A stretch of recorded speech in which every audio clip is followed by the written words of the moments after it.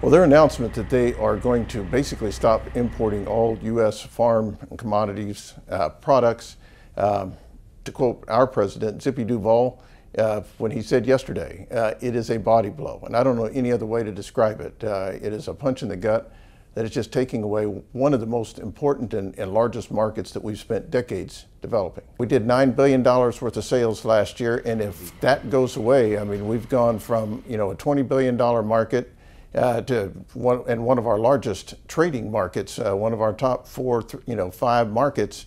And now it's, you know, back down into where we were almost 20 years ago when we worked so diligently, uh, you know, for well over a decade and a half to get a market that bought very little U.S. agricultural products and commodities uh, up to a nearly, at one point, 2014, I believe it was, we were at uh, nearly 23, 24 billion dollars in sales.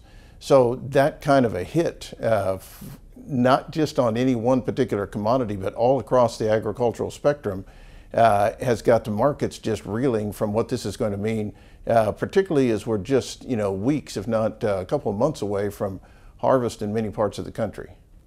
You know, for years, China has been a challenge to deal with in, in a number of different ways, whether it's some of the new technologies that come on to help farmers in their production, you know, seed varieties, uh, crop protection uh, products, those kinds of things, getting that through China's regulatory scheme, uh, and I use that in all the ways you might define scheme.